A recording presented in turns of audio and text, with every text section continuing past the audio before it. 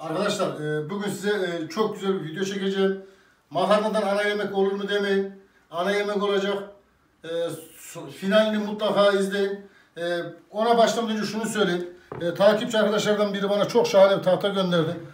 Tahtanın en çok hoş- hoşuma giden özelliklerinden biri altlarının olması, kaymaması için. Biz ne yapıyorduk? Tahtamız kaymasın diye, elimiz kesilmesin diye altına altına ne koyuyorduk? Peçete koyuyorduk veya ıslatılmış bez koyuyorduk elimizi kesmeyelim diye. E, Eflatun Vot e, yazıyor tahtanın üzerinde. Bu arkadaşa gerçekten çok teşekkür ediyorum. Tahtayı görünce de inanılmaz derecede şaşırdım. E, emeklerine sağlık. Çok güzel tahta. Bugün ilk e, Allah nasip ederse bu tahtaya bir siftah diyeceğim. Çalışmaya başlayacağım. Şimdi burada makarna bir paket makarnamız var. Köy biberimiz var, kırmızı biberimiz var, domatesimiz var, iki tane yumurtamız var. Bu e, kırmızı biberle ilgili şunu söyleyeyim. Ben ucuzken alıyorum, difrize atıyorum, difrizden çıkartıp kullanıyorum. O zaman 3 liraydı, şimdi 10 lira. Size de önerim bu şekilde. Şimdi ocağın başına geçelim, makarna ocağı vuralım. Makarnayı ocağa alaveresiye atacağız. E, sıkıntı yok. E, nasıl atarsanız atın. İster kırarak atın, isterseniz tüm atın. Makarnayı içine gelişi güzel attım. İsterseniz ortadan ikiye bölün, isterseniz tüm atın. E, tamamen sizin tercihiniz. Çünkü makarnanın tüm olmasıyla bizim bir işimiz yok. Buna tuz veya işte ne diyeyim yağ koymayacağım. Sadece kendiliğinden haşlanmasını bekleyeceğim. Şimdi e, tezgahımıza dönelim. Malzemeyi bir doğrayalım.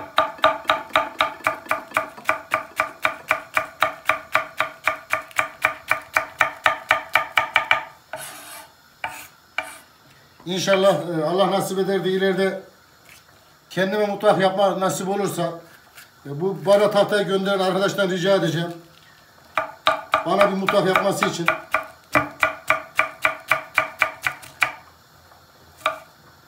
Çünkü bana göre tahtası çok kaliteli. Tabi ücretini ödeyeceğiz. Bir mutfak kaça çıkar? E, paramız yeter mi yetmez mi orasını bilmiyoruz.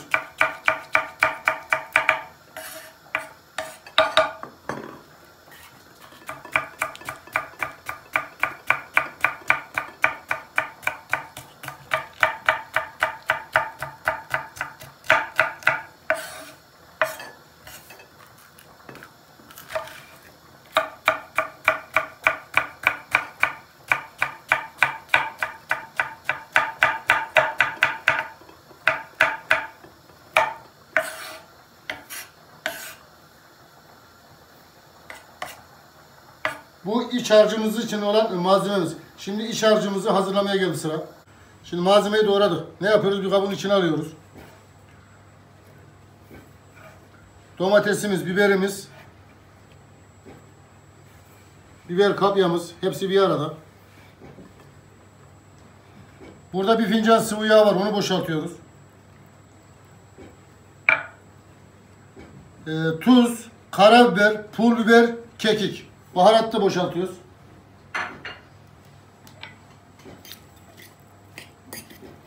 Bunu ne yapacağız? Birbirini iyice bir yedireceğiz arkadaşlar.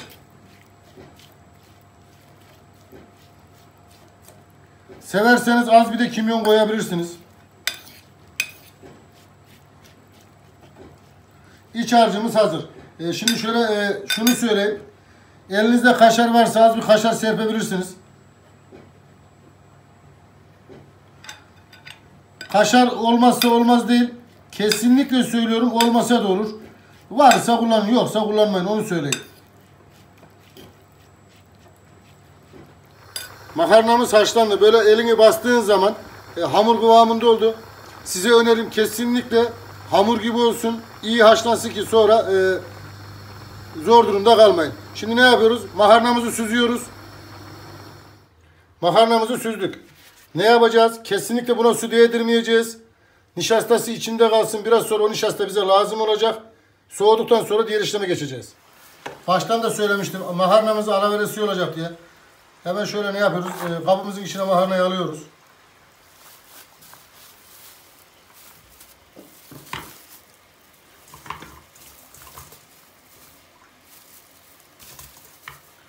Makarnayı iyice soğuttuk. Ee, şimdi e, yumurtasını vereceğiz.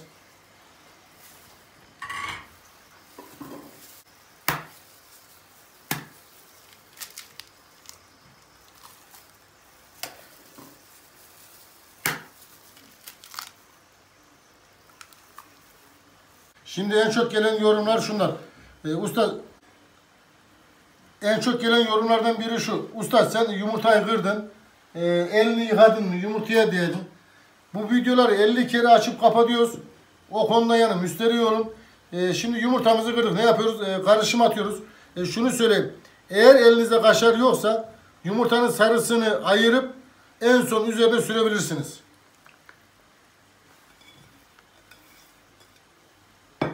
Şimdi ne yapacağız? Buna dalacağız arkadaşlar böyle. Aynı hamur yoğurur gibi. Bütün karışımı, yumurtayı, içindeki malzemeleri her yerde değdireceğiz.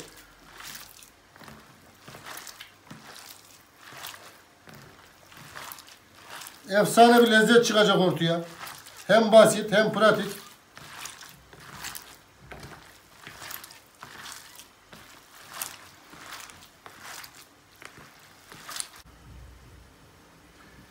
Borcamımızın t- e, dibini ne yaptık? E, güzelce bir katı yağ ile yağladık. Yani tereyağıyla değil. Katı yağ deyince kızıyoruz. Şimdi boşaltıyoruz.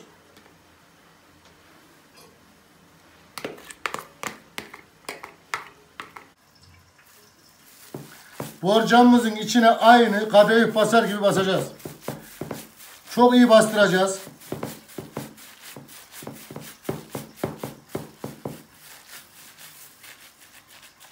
Ya benim böyle yavaş yavaş bastırma bakmayın. Şimdi ben videoyu kapatınca ne yapacağım?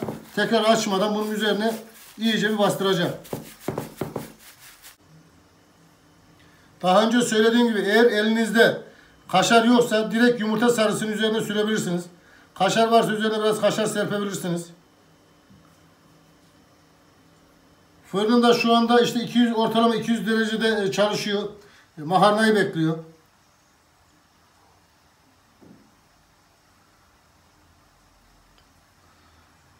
Şimdi fırına atacağız. Gördüğünüz gibi e, kızardı. Ne yapıyoruz? Şimdi sunuma geçiyoruz. Hemen şöyle bir porsiyon alıyoruz. Tabağımıza koyuyoruz.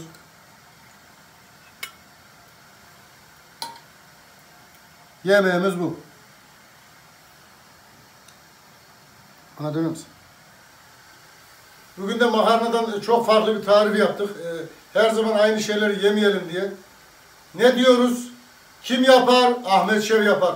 Siz isteyin, biz yapalım. Afiyet olsun.